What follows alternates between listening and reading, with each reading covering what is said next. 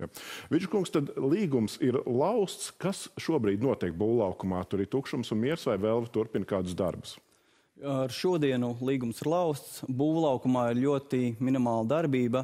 Ja ilgstoši mēs neredzam pietiekamu rosību, pietiekamu darbību šī objektā, dēļ, kā arī primāri dēļ ilgstoša līgumu, līguma neievērošanas šis līgums arī ticis lausts. Mhm. Ja reiz kaut kādi darbi tur turpinās pēc līguma laušanas, tad par tiem būs vēl jānorēķinās papildus, kas ir norēķināsies ar šiem cilvēkiem. Attiecīgi tie darbi, kas kvalitatīvi tiek pildīti šobrīd, par tiem attiecīgi arī slimnīca norēķināsies. Taču jāņem vērā ir fakts, ka jau uz doto brīdi līguma sots ir vairāk simt tūkstošu apmērā, kā arī ir parāda saistības vēlē pret Stradiņas slimnīcu par izmantoto elektroenerģiju. Īsti pirms raidījuma parādījās ziņa, ka Būvniecības valsts kontrolas birojas tomēr nav konstatējis kādas būtiskas neatbilstības vai atkāpes no būvprojekta. Ja būvnieki versīsies tiesā vai pieļaujot iespēju arī zaudēt, un kurš tādā gadījumā uzņemsies atbildību par līguma laušanu? Mēs arī esam to akcentējuši, ka nav būtiskas uh, atkāpes, uh, tātad nav būtisku problēmu uh, esošā būvprojektā.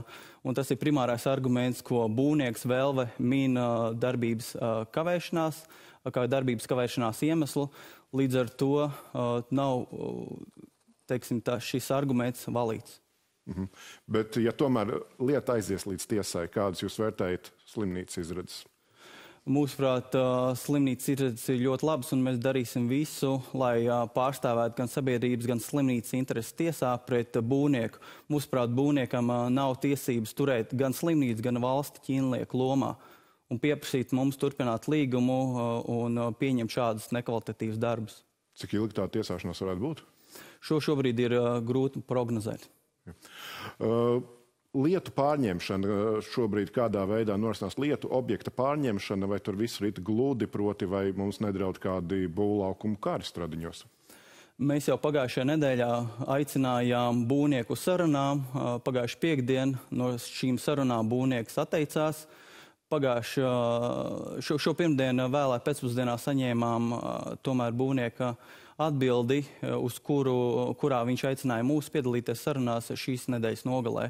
Tad šīs sarunas mēs arī novadīsim Stradnijas slimnīcas korpusā un runāsim par to, kā pārņemt šo objektu. Jā, ko jūs gribat panākt šajās sarunās?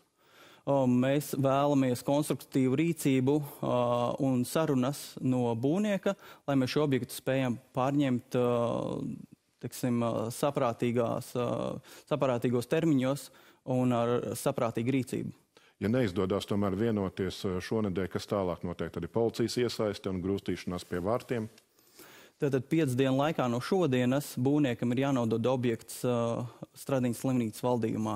Š šī būtu ļoti absurda situācija, ja būvnieks nelaistu mūsu, mūsu pašu objektā un neļaut mums šo objektu pārņemt. Mēs, uh, protams, iesaistīsim uh, attiecīgās iestādes, ja būs nepieciešams, lai šo objektu pārņemtu, bet tiešām ceru, ka līdz tam nebūs jānonāk mūsdienu tiksim, šādā situācijā. Bet ar policiju varbūt jūs esat jau tad runājuši un konsultējušies. Mēs esam konsultējušies, protams, jā. Uh, Būvkompānija no savas puses paudus aizdomas, ka līgums tiek lausts tādēļ, ka slimnīca nespēja norēķināties par un nav finansējuma darba turpināšanai. Vai jūs šobrīd varat droši apgalvot, ka šāds finansējums slimnīcai ir pieejams? Šie ir absurdi apgalvojumi. Slimnīcai ir pieejams Eiropas Savienības finansējums, valsts līdzfinansējums, tāpat arī slimnīcas pašas finansējums. Cik liels?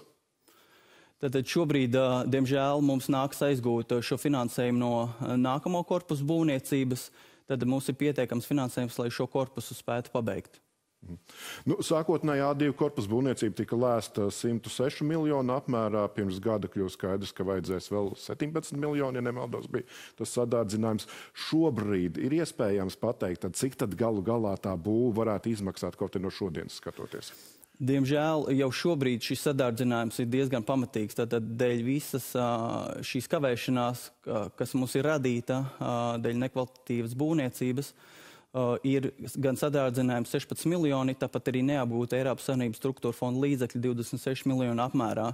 Ko vēl, vēl labprāt izvēlas neminēt savā retorikā, ir tas, ka arī līguma pagarināšanas gadījumā būtu sadārdzinājums arī sadarbojoties ar Velvi. Bet tad šobrīd kā izskatās, vai šobrīd jūs varat nosaukt kādu summu, cik liela būs nepieciešama? Cik šobrīd summu ir grūti precīzi nosaukt, tā būtu tikai un vienīgi spekulācijas, bet iespējams, ka arī summa teiksim, ne, nepalielinātos, ja mēs spētu piesaistīt efektīvu būvnieku, kuram būtu papildus jaudas, arī termiņš faktiski varētu būt pat tāds pats, kādu mēs esam prognozējuši. Jūs jau pieminējāt tos 26 miljonus Eiropas finansējumu, kas ir pazaudēti, bet, ja nemaldos, kopējais pērn pazaudētais varētu būt pat ap 70 miljoniem finansējumu. Cik tad mēs kopā esam pazaudējuši Eiropas naudu? Nu, Eiropas finansējums nav apgūts par 26 miljoniem, ja mēs skatāmies uz iepriekšējo Eiropas struktūra fonda plānošanas periodu. Tad šī nauda ir aizgājusi garām neatgriezeniski. Tieši tā. Mm. Uh, Ņemot vērā šo līdzinējo pieredzi ar pašreizējo būvnieku, ko jaunajā konkursā un jaunajā līgumā jūs darīsiet citādāk, lai vēl pēc gada nebūtu atkal jāatlauž nākamais līgums? Tad mēs primāri rūpīgāk izvērtēsim iepriekšējo, projektu, iepriekšējo projektu pieredzi, tāpat arī rūpīgi vērtēsim reputāciju un reputācijas riskus. Ja. Bet varbūt kādas konkrētas kļūdas, kas tika pieņemtas, tas netika izvērtēts iepriekšējā līgumā? Mūsuprāt, arī līguma konstrukcijā nepietiekami ir ticis pārstāvēts pasūtītājs, šī gadījumā Stranīs slimnīca, tad ir nepieciešami arī stingrāki līguma nosacījumi ar izmērāmiem teiksim, rādītājiem. Vai pie šī jūs redzat arī savu priekštešu iepriekšējās valdes atbildību? Mūsuprāt, tur varēja šo procesu novadīt daudz efektīvāk. Uh, kā tad notiks meklējumi? Proti, kad tiks izsludināts konkurss? Es saprotu, ka mērķis ir vismaz līdz gada beigām atrast jauno būvnieku. Tieši tā, kopš sākot ar 20. februāri mēs sākam darbu pie šī jaunā iepirkuma izsludināšanas.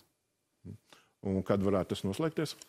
Mēs ceram, ka tas varētu noslēgties tuvāko mēnešu laikā, vēlākais līdz šī gada beigām, taču paralēli uh, norisināsies uh, neatliekamie darbi, uh, kur tiks um, uzticēti kompānijai, kuras spēs to nodrošināt. Jo šī būva mums ir jāuztur kārt, kārtībā, attiecīgā temperatūrā, attiecīgos klimata apstākļos, kā arī jānovērš defekti, kas būtiski šobrīd pasliktina ēkas stāvokli. Mm. Kā, piemēram, cauriem jumtos joprojām pagrabā ieplūst ūdens, ir drenāžas, um, tomēr jāsaved kārtībā, kas ir iekšpagalmā, kā arī citi neatliekami darbi, kas ir jāveic tūlīt. Mm. Kā jūs atradīsiet šo neatliekamo darbu veicēju?